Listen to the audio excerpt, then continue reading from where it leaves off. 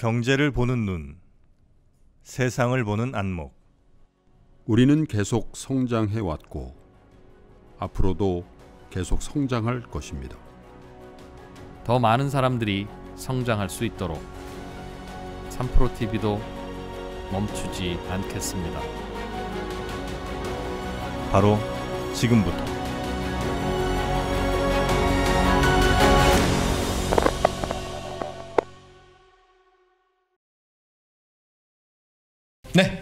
자, 백브리핑의 주인장 브리핑 시작해 보겠습니다. 사실상 이 저녁 식사에 해당하는 네, 지금 음, 밥 먹으러 천 명 빠지셨다고. 여러분. 그 말씀드리지 않습니까? 네. 아, 아. 30대 이후에는 저녁을 먹으면 안 됩니다. 어. 제가 저녁 먹고 밤차 먹고 했다 이렇게 되지 않습니까? 네. 여러분, 어, 여러분의 마음의 양식 지금부터 맞아요. 푸짐하게 드릴 아. 거니까요. 예. 뭐 도전적인 시간대 하고 있습니다 저희가. 정말 진짜 어려운 시간대입니다. 사실은 아니 김프로 형이 꼭 이런 시간대를 아니 줘. 퇴근길에 6시부터 1시간을 졸리게 만들어 놓고 네. 이제는 밥 먹을 시간 아닙니까 사실은 7시에 밥도 이거를 먹지 말라는 거지. 이제 아. 밥도 먹지 말라. 그러나 저희는 어, 해보겠습니다. 자 오늘 첫 번째는 네. 디지털세 네. 디지털세 이야기인데요. 이게 어, 이게 세금 세금 이야기입니다. 그죠? 그렇죠. 음. 이게 사실 좀 복잡한 얘기인데 아, 이런 기사 많이 보셨을 거예요. 삼성전자가 디지, 디지 털세를 내게 된다. 뭐 이런 기사 아마 보셨을 텐데 네. 굉장히 이게 법인세와 관련된 큰 변화가 있는 거죠. 음. 최근에 OECD 국가들하고 G20 국가들하고 모여서 어느 정도 합의가 됐다 이런 예. 내용인데 그 동안에 이제 법인세는 건물이 어디 있느냐, 음. 건물이 한국에 있으면 한국에서 세금을 걷고, 음흠. 뭐 미국에 있으면 미국에 걷고 그렇게 예. 돼 있잖아요. 예. 근데 이제 이게 문제가 구글 같은 뭐 구글, 애플 등등등 다국적 기업들은 요리조리 세금을 많이 피해가더라. 음. 그래서 우리나라의 경우에도 구글 코리아 같은 어, 경우에도 한국에서 사업을 많이 하지만 음. 국내에서 매출 신고한 게 한 2,200억 원 정도밖에 안 돼요. 아 구글이 네. 근데 이제 앱스토어 이런 데 보면 한 매출이 뭐 5조, 6조 이 정도 될 걸로 추정되니까 세금은 정말 조금밖에 안 내고 있을 것이다. 아, 세금 신고한 게 2천억? 매출 신고한 게 매출이 있죠. 있잖아. 네. 그러니까 진짜 얼마 안 되는 거죠. 예. 그래서 이런 식으로 빠져나가니까 음. 그래서 2000 글로벌 각 국가들이 고민하는 게 예. 다국적 기업들이 세금을 빠져나가지 못하도록 하기 음. 위해서는 디지털세라는 걸 도입해야 된다. 음. 그러니까 매출이 일어난 곳에 세금을 좀 일부 거둘 수 있도록 해보자. 예. 그걸 2023년부터 도입해보자. 예. 뭐 하는 건데 오늘 홍남기 기획재정부 장관도 디지털세와 관련해서 국익 관점에서 대응하겠다 음. 이렇게 우리도 비교적 긍정적인 어, 반응을 보냈더라고요. 근데 이게 지금 왜 알아야 되냐면 사실은 우리나라에서 돈 벌어가는 애플, 페이스북, 구글한테 세금 좀 더 거둘 수 있겠냐? 음. 네. 이것도 고민이지만 네. 어, 이게 좀 잘못 좀 조금 좀 잘못 돌아가고 있는지 아니면 불똥이 튀는 건지 음. 삼성전자와 하이닉스 같은 큰 된다, 회사들도 해외 나가서 돈 벌고 있잖아요. 네. 해외 나가서 번 돈에 대해서 지금까지는 대한민국 정부에 주로 세금을 냈는데 음.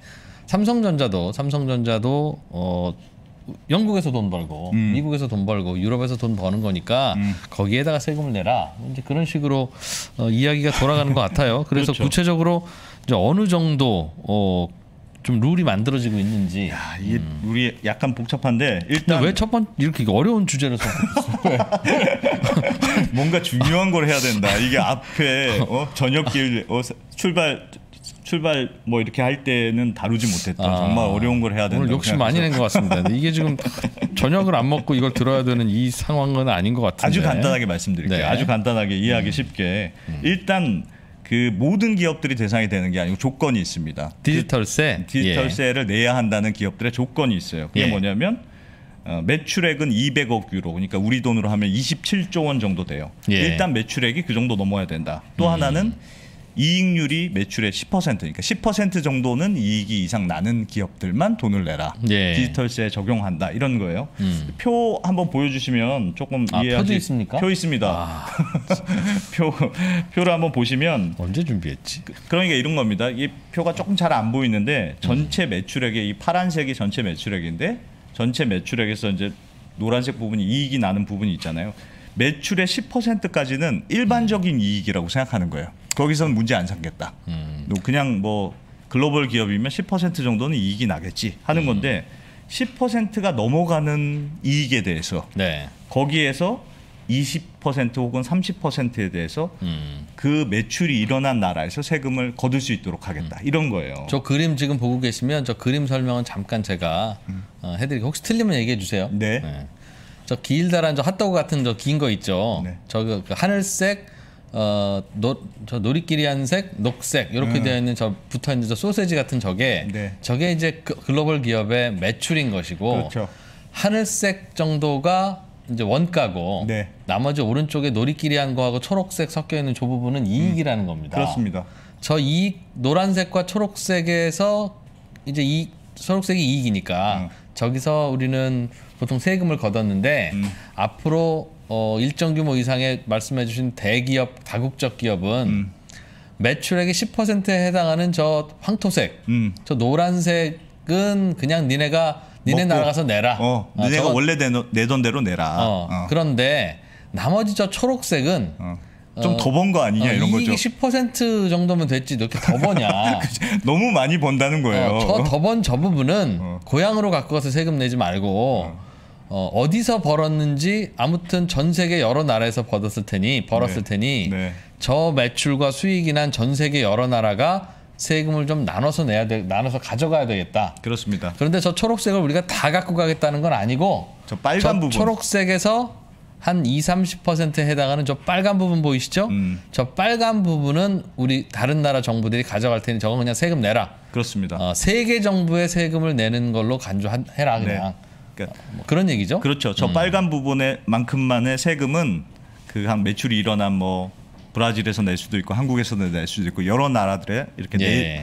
매출이 실제로 일어난 데서 내라. 뭐 이런 거예요. 그러니까 저 빨간색 저 정도는 그 직- 종전까지는 그, 그 나라 국가 네. 자기네 고향에서 네. 냈던 세금인데 네. 저 빨간색 저만큼은 이제는 전 세계가 네 고향이라고 생각하고 음. 다국적 기업 아니냐 이름이 네, 네. 그러니까 어, 저거는 그냥 전 세계 네. 정부한테 뿌려라 하는 개념인 것 같아요 그렇죠? 맞아요. 그 이거를 만약에 이제 삼성전자에 그 적용을 해보면, 어, 그러니까 삼성전자가 예를 전 세계적으로 총 다해서 세금을 내는 게 한 11조 원 정도 됩니다. 예. 근데 이 중에서 우리나라의 세금을 내는 게 한 73% 정도예요. 대부분을 한국에서 낸다는 거죠. 예, 근데 8조 원. 예. 네, 8조 원 정도 내는데 음. 사실은 삼성전자 같이 큰 회사에서 한국 비중은 얼마 안 되잖아요. 뭐 10몇 퍼센트밖에 안 되거든요. 예. 근데 법인세의 대부분은 한국에서 낸다 이런 뜻이에요. 음, 본사가 한국에 있으니까. 본사가 한국에 대부분의 나라들이 다 그렇게 글로벌 기업들이 다 그렇게 되어 있는데 네. 요 식을 만약에 적용해서 해본다. 그러면 어떻게 되느냐? 삼성전자 매출액이 한 한 해 작년에 236조였거든요. 예. 236조의 10%니까 음. 한 12조 정도 되는 거죠. 23조 정도 되는 거죠. 음. 23조 얼마쯤 되는 거죠. 그러면 초과되는 이 영업이익이 작년에 35조가 났어요. 예. 삼성전자가. 그러니까 아시 숫자 계산이 복잡한데 35조에서 그 10% 이익만큼은 빼는 거예요. 음. 빼고 그 그건 너희가 먹어라. 그럼 나머지가 얼마가 되느냐? 그게 한 12조 정도 됩니다. 다시 다시 다시 다시 다시 다시 못 어려워, 알아. 어려워. 다시 다시 저 다시 삼성전자부터 다시 삼성전자부터 다시 합니다. 네. 삼성전자가 죄송합니다. 어, 236조 정도 됩니다. 매출액이 매출액이 236조 네. 원. 네. 영업이익이 35조예요. 35조. 네. 예. 그러면 근데 35조 중에 10%만큼은 그냥 원래 내던 대로 내라 이런 거잖아요. 예. 그러니까 10%만큼이 23조 정도 되는 그러니까 거예요. 매출이 236조 원인데 그 거기에 10%인 23조 원은 그렇습니다. 그건 원래 내돈 나라에서 내라. 아, 그 원래- 정상적인 어, 이익이라고 어, 보고 정상적인- 이거는 우리는 노터치. 그렇죠. 그런데 23조 원이 아니라 이익이 35조야? 그거, 어, 그러면 이렇게 많이 벌었어 이런 거죠. 11조 원이나 뭔가 초과했네. 어, 어. 요거는 우리가 좀 같이 생각 그렇죠. 좀 해보자. 그 예. 11조 원의 20%에서 30% 정도를 한 2조 원 정도는? 그렇죠. 어. 음, 거기 그, 그 정도를 가져가겠다. 그러, 그러면 이게 만약에 뭐 나라마다 법인세가 다르겠지만 예. 한15% 정도로 세금을 걷는다고 생각하면 그게 한 3천억 원, 4천억 원 그 정도 수준이 돼요. 그러니까 많지는 않네요. 많지는 않아요. 그러니까 이게 디지털세가 도입되면 우리나라의 경우에는 지금 해당되는 기업이 삼성전자와 SK 하이닉스 정도가 예상이 되는데 예. 하면 뭐 한 몇천억 원 정도가 아, 외국으로 우리나라에서 거둘 세금이 외국으로 나갈 수 있다. 음. 이런 건데 반대로 우리나라에도 해외 기업이 많이 있잖아요. 네. 뭐 말씀하실 거 있으세요? 아닙니다. 잠깐 지금 저그 자꾸 이제 식사하러 가시려는 분이 내일부터 저희가 아, 여기에 칠판에 하나 갖다 놓겠습니다. 저희 그 처음이라서 한번 해보려고 했더니 아 이게 귀에 안, 안 들어오네. 어, 막 어, 숫자, 숫자-. 숫자 가 많으니까. 아, 그렇다고 저희는 또 설명 안 해드리고 갈 수는 없고. 아, 네, 이거 정말 기, 내일부터는- 깊이 있는 내용을 네, 해보려고. 내일부터 저희가 어, 꼭 칠판 갖고 오겠습니다. 예. 한 번만 이해해 주시고 네. 아, 식사하러 가지 마세요. 어쨌든. 하고 싶은 얘기는 음. 들어오는 돈이 있고 나가는 돈이 있는 거예요. 왜냐하면 우리나라도 글로벌 기업들이 있을 거 아니에요. 네. 구글, 구글이야, 애플 코리아 등 이- 등등이 있을 거 아니에요. 음. 그러니까 그 나라들도 디지털세를 내야 되니까 네. 한국에서 안 내던 세금은 우리도 조금 받고 음. 삼성전자 같은 나라 회사는 해외에서 세금을 좀 내고 네. 뭐 이런 왔다 갔다가 있는데 처음에는 삼성전자 하이닉스밖에 우리는 해당되는 기업이 없고 외국 기업들은 많이 있을 테니 네. 그래서 들어오는 게 초반에는 조금 날좀더 것, 있을 조금 더 것이다. 있을 것이다. 아, 우리나라에서 저 어, 매출액이 26조 원 이상 되는 대기업은 삼성전자, 하이닉스 둘밖에 없다. 그렇습니다. 하이닉스도 그렇습니다. 간당간당 하겠네요. 근데 예. 이게 문제가 앞으로는 이게 달라질 게 음. 이게 지금 물- 물론 이번에 합의가 완전히 안 됐어요. 그래서 예. 뭐 앞으로 넘어야 될 산들이 있지만 만약 이게 하- 합의가 돼서 시작됐다. 그럼 7년 이후에 음. 이 매출의 기준을 절반으로 낮춘다는 거예요. 100억 유로. 아, 그러면 한 1조 몇천억 원 정도 되면 다 해당되거든요. 그 12조 원 정도 매출이 되면 해당되겠죠. 네, 그렇습니다. 그 그러면 많은 기업들이 해당이 되면 많은 기업들이 해당이 되니까 그렇게 되면 우리나라는 수출이 많은 나라니까 네. 받는 것보다 해외 알겠습니다. 세금 내야 되는 돈들이 많아지지 않겠느냐. 야 역시 채, 저희 우리 채팅창의 수준이 얼마나 높냐면 네, 다 이해하셨어요? 어, 우리나라가 그래서 세금을 더 많이 버냐 아니면 음. 남의 나라가 이게 아니라 삼성전자가 내는 세금의 총량이 그럼 같은 거냐? 음. 어, 그걸 야, 물어보네요. 네. 음. 같은 거죠. 삼성전자가 내는 총량은 같아지면 국내에서 낼 걸 일부러 해외에서 내는 거니까 예. 총량은 같아진다고 이론적으로는 볼 수 있어요. 음, 지금까지는 삼성 아무튼 삼성전자가 내는 세금은 같은데 네. 같은데 지금까지는 대체로 대한민국 정부에 많이 냈습니다만 음. 앞으로는 대한민국 정부에 조금 덜 내고 어, 다른 데다가 좀 더 내게 될 가능성이 높다. 그렇습니다. 음, 네. 그러나 그건 또 어, 다른 다국적 기업들도 마찬가지니까 음. 이제 우리나라에다가도 좀 낼 거고 구글도 뭐 애플도 페이스북도 그렇게 좀 낼 것 같다 그 말이 있군요. 음. 그렇습니다. 네. 음. 사실은 이것 이것보다 더 중요한 게 최저법인세 합인데 네. 이거 약간 복잡하긴 한데 이것도 그러니까 미국 디지털세가 도입되면 좋은 게 유럽이죠. 유럽 같은 나라는 음. 유럽 같은 지역은 각- 미국의 각종 다국적 기업들이 유럽에서 각종 사, 사업을 많이 하는데 세금을 별로 안 낸다. 음. 그게 이제 유럽의 불만이었잖아요. 그래서 디지털세라는 논의가 처음 시작된 게 유럽이에요. 예. 그래서 우리에서 장사하니까 너희 세금 좀 많이 내라. 음. 그런데 미국 입장에서는 그게 좀 약간 불편하죠. 다국적 기업이 많으니까. 음. 근데 반대로 미국이 하고 싶은 건 뭐냐면 이 최저 법인세를 만들고 싶은 거예요. 최저 법인세 뭐냐면 모든 나라가 법인세를 15% 밑으로 하지 마라. 음. 왜냐하면 15% 밑으로 하면 미국에 있어야 될 기업이 어디 뭐 아일랜드로도 가고 음. 버뮤다로도 가고 예. 가니까 음. 그렇게 못하게 하고 무조건 룰을 만들자. 이게 이제 하자. 미국이 하자는 거고. 그래서 두 개를 약간 따터했다. 음. 그렇게 알겠습니다. 볼 수는 있습니다. 아. 그래서 디지털세라고 하는 건 종전에는 없었던 세금인데 다국적 기업들 전 세계에서 네. 한 100개 정도 되는 네. 매출액이 260조 이상 정도 되는 다국적 기업들에게 곧 적용될 것 같은 그런 세금 제도다. 네. 그것 때문에 대한민국에서는 삼성전자, 하이닉스 정도가 영향을 받을 것 같은데 네. 그게 뭐 세금을 더 내는 건 아니고 네. 한 3, 4천억 원 정도를 우리나라에 내던 세금 다, 다른 나라에다 내고 올 수 있겠다. 그래서 우리한테는 당장은 음, 큰, 관계는 일, 없으나 큰 일은 없다. 사실 걱정은 좀 됩니다. 말씀하신 대로 이 영향 이 영향이 좀 조금 더 그보다 작은 기업들에게도 퍼져갈 거고 네. 제 예상컨대 음. 우리나라 정부 입장에서 삼성전자로부터 들어오던 세금이 3조 원이다가 2조 원으로 줄잖아요. 음. 그럼 너가 이렇게 조금 내니 그러면 아, 어떻게든- 유럽에서 어떻게든 뜯기고 걸- 미국에서 뜯기고 하겠지. 다 뜯겨서 그렇습니다. 어, 어. 그러면 그래도 더 내. 어, 지금은 외국에서 낸 세금에 대해서 그 수- 세액 공제를 해주잖아요, 그죠? 네, 바깥에서 네. 낸그 제도가 있는데 뭐 그 제도 없애버리면 아니 난 모르겠고 하여튼 모르겠고 일단 여기서 더 내. 이제 그렇게 또 될 수도 있을까봐 그러니까요. 기업들은 걱정을 좀 하겠죠. 음. 이게 당장은 큰 영향이 아- 아니어도 앞으로 예. 굉장히 큰 음. 기업들 입장에서 큰 변화가 있지 않을까 네. 생각이 됩니다. 자, 한 가지만 더 해보죠. 어, 요즘 이것 때문에 아주 난립니다. 코인 거래소들이 어, 이제는 없어지게 생겼어요? 진짜 많이 없어지게 생겼어요. 음. 진짜 많이 없어지게 생긴 게 네. 지금 뭐 지금 상황을 간단히 설명드리면 음. 9월부터 특정금융정보법이라는 게 시행이 돼요. 그러면 지금은 누구나 코인 거래소들이 마음대로 설립해서 할 수 있는데 예.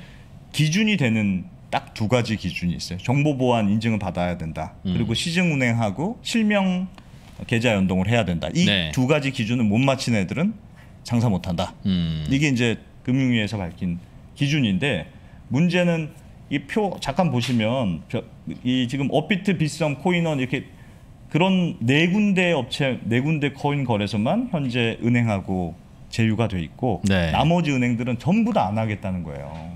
업비트, 빗썸, 코인원, 코빗 저네 개, 네 곳만 곳만 현재 어, 은행하고 실명 은행하고- 계좌 인증이 돼 있고 나머지는 그러니까 지금 나머지들은 영업을 하려면 은행을 붙잡아야 되잖아요. 저 은행이랑 실명 계좌 인증이라는 게 뭡니까? 실- 좀 실명. 계좌 인증이라는 네. 건 어떤 거냐면 지금 코인 거래소에 들어갈 때 음. 반드시 하나의 은행을 통해서만 들어가야 된다. 그러니까 예를 들면 저기 있는 업비트 같은 회사 회사는 예. K뱅크라는 은행하고 음. 계좌 연동이 돼 있어요. 그래서 네. 내가 업비트에 투자를 하려면 반드시 K뱅크에 계좌를 개설해서 음. K뱅크를 통해서만 돈을 입금할 수가 있게 돼 있고요. 뺄 때도 반드시 K뱅크를 통해서만 뺄수 네. 있고. 그러니까 이거 아마 주식 투자하신 분들은 음. 분들 중에서는 계좌를 증권사 계좌를 은행 가서 트셨던 경험이 있는 분이 있을 거예요. 음. 그거 그분이라면 아주 아 내가 주식 투자 처음 시작할 때 그렇게 하라는 거였구나. 은행 가서 네. 번호표 뽑고 저 무슨 무슨 증권사에 계좌 두고 싶습니다 하면 그 은행이 계좌를 터줬거든요. 맞아요. 어, 그리고 어. 그 은행 통장에다 돈 넣고 어. 그 증권사 앱에서 그 돈 갖고 와서 거래하고 이번에 카카오뱅크도 그거 많이 했다는 다시 거잖아요. 빼고 어. 어, 꼭 그런데 은행을 하나 꼭 껴야 된다 그 말이죠. 그렇게 꺼야 된다. 근데 그걸 반드시 해야 되는데 그러면 나머지 코인 거래소들은 어떻게든 잡아야 되는데 음. 예. 안 해주겠다는 안 거예요. 해주겠다. 은행들이.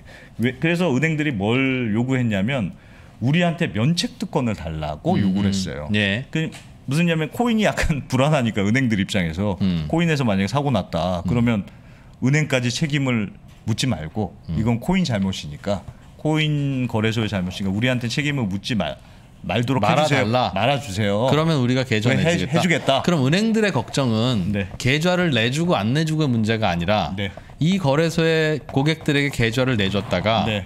어찌어찌 잘못해서 우리한테 불똥이 튈 수도 있는 있으니 네. 혹시 튀더라도 우리한테 뭐라고 하지 말라 말아달라. 말아달라고 한 거죠.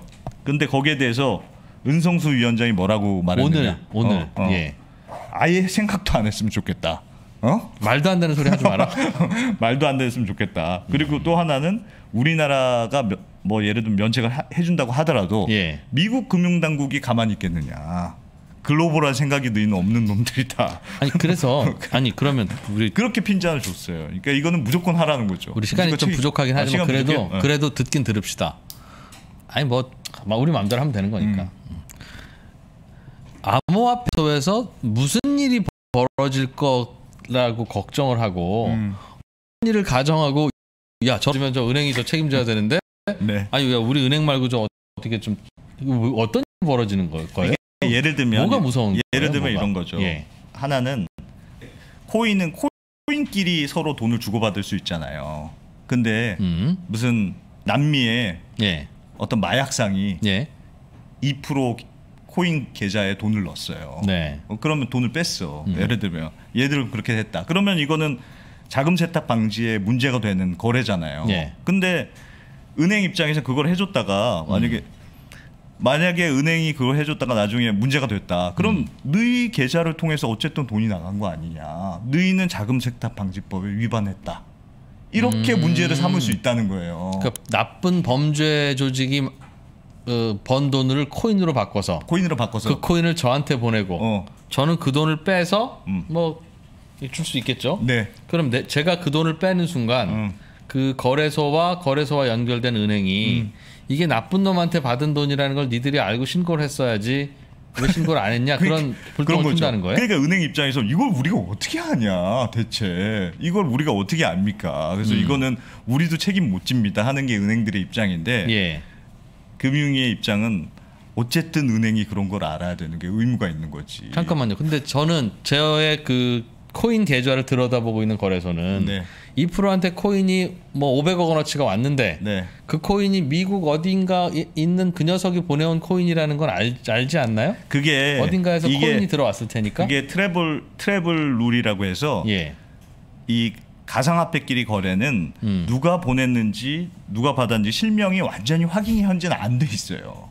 그래서 travel rule이라는 게 뭐냐면 어. 국제적으로 야 그게 너무 혼탁해질 수 있으니까 예. 음. 를 들면 2%가 보냈다 코인끼리 거래 보냈어도 네. 2%가 보낸 거고 안승찬이 받은 거다 이렇게 최소한 누가 보내고 누가 받았는지는 실명을 확인할 수 있도록 하자 거래소들끼리 거래소들끼리 그게 논의는 되고 있어. 의무는 지금 돼 있어요. 국제 자금 세탁 방지 기구에서 음. 의무는 줬어요. 근데 문제는 그걸 이, 시- 입증할 수 있는 기술적인 방법이 아니 없어요. 그건 그건 말 누가 그런 얘기 말도 안 되는 소... 여보세요 코인이라는 건 네. 코인이라는 건 전 세계 누구나 각자의 자기 지갑을 가질 수 있고 그렇죠. 자기 지갑에다가 코인을 담을 수 있는데 이 지갑은 금융 실명제와 관계 없는 지갑입니다. 맞아요. 현재 그렇죠. 그래서 누가 코인과 지갑을 같이 버리잖아. 어. 누구 건지 몰라요. 이름도 돼. 안써 있어요. 그 그런 당연히 그 익명성 때문에 코인이 쓰이는 건데 네. 예를 들어서 은행 그러니까 거래소 거래소끼리 거래할 때는 서로 이름을 확인하자라고 하면 음. 그냥 지갑 대 지갑으로 거래하죠. 거래소 안 끼고 음, 그리고 나서 예를 들면 마약 거래하는 A와 음. B와 C가 코인을 다 주고받은 후에 음. C가 거래소에 가서 이 코인을 입금하고 팔아서 현금화하면 이 C가 생긴 코인이 도대체 어디서 온 코인인지 음. 거래소가 알아요, 은행이 알아요. 이거 어떻게 못 막는데 이건? 못 막죠. 네. 못 막는데 그거를 은행이 누이는 책임이 있다. 하여튼 나중에 뭐 어. 일 벌어지면 하여튼 누이는. 책임이 있는 거 아니냐. 이렇게 나오니까 이제 은행들이 지금 해준 데는 어떻게 해도 하나도 못 하겠다. 아. 그렇게 나오는 거죠. 그렇게 나오니까 지금 나머지 이건 4개 아니야. 거래소 외에는 이건 아니야. 이건 아니야. 싸그리 망할.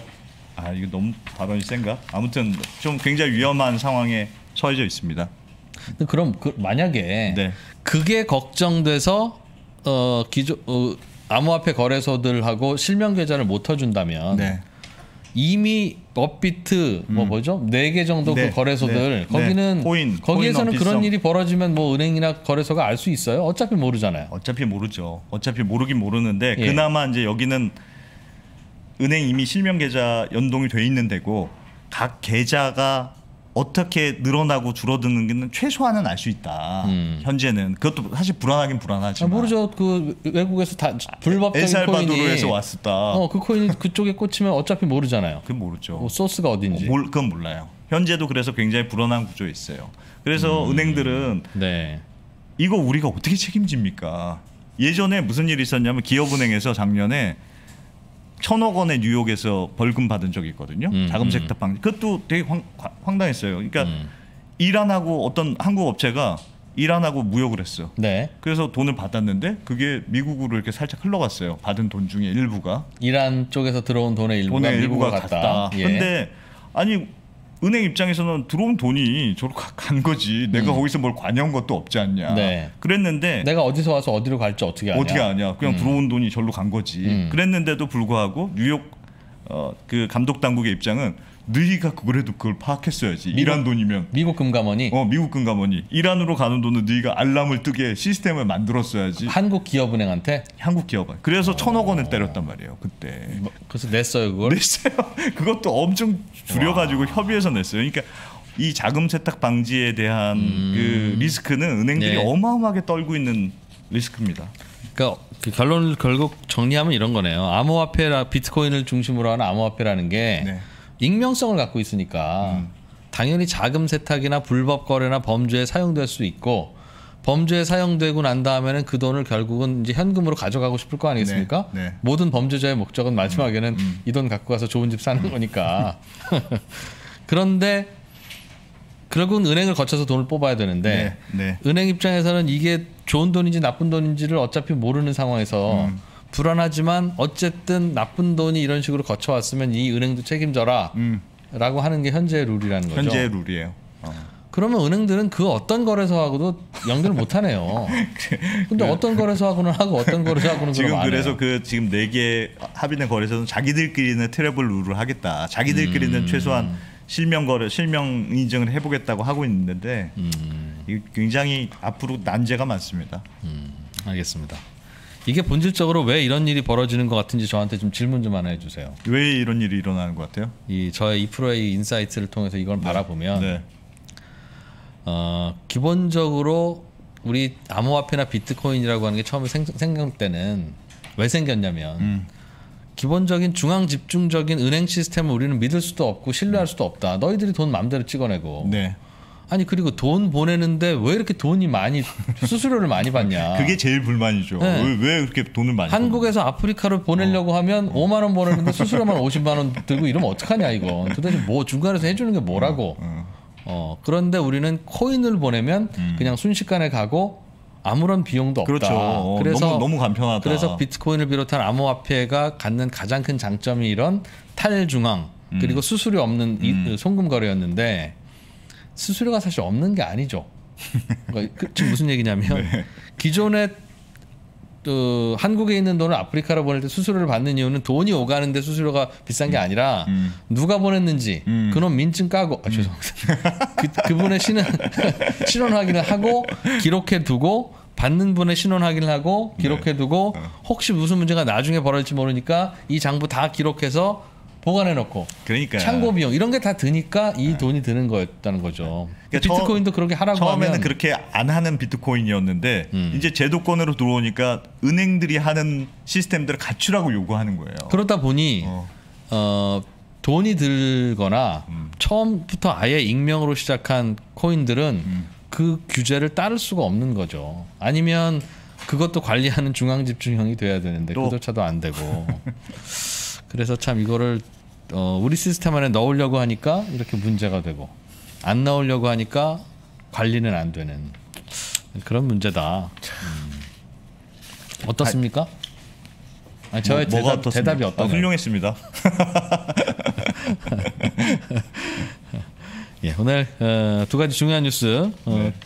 다 됐죠? 네. 시간도 다 됐고 해서 너무 길어져가지고 오늘 어. 주인장 브리핑은 여기서 마무리하고요. 네. 잠시 후에 광고 하나 들으시고 초대 손님 한 분 만나보겠습니다. 아마 이분 여러분 아마 꽤 익숙하신 분일 텐데 어, 아마도 오늘이 아마 한 2년 전 7월에 있었던 네. 그 우리나라와 일본의 그 반도체 소재와 관련한 거의 뭐 총성 음. 없는 전쟁이었죠. 어, 그 전쟁이 있었던 거의 한 2주년인데 그 후에 어떤 일이 있었는지를 쭉 한번 들어보고 현재 어떤 상황인지 예, 그 내용을 좀 들어보겠습니다. 잠시 후에 광고 들으시고 바로 돌아오겠습니다. 코로나19 백신 1차 누적 접종자가 오늘 오전에 천만 명을 돌파했습니다. 9월까지 모두 2,300만 명이 접종을 끝내야 하는데 이 접종 속도는 더 빨라질 것으로 보입니다. 1920년대가 떠올려지는 지금의 모습. 코로나 이후의 시대. 우리는 어디에 투자를 해야 할까? 3프로TV 주식대학 여름학기. 리서치 명가 메리츠증권 이경수 사단의 최고 애널리스트들과 함께 필기하며 공부하는 하반기 투자 전략과 업종별 시장 전망. 여러분의 하반기 수익률을 책임질 총 24강의 투자 전략. 페이지 2 앱에서 확인해 보세요.